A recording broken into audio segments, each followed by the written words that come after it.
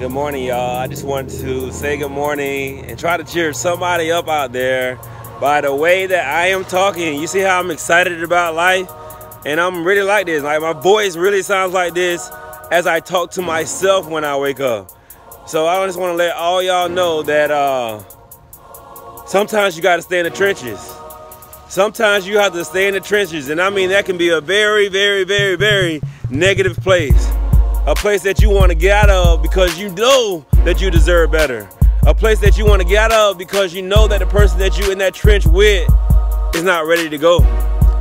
So sometimes y'all have to get in that trench and stay positive, knowing that you will live, knowing that y'all gonna make it to that promised land or that goal that you have in mind.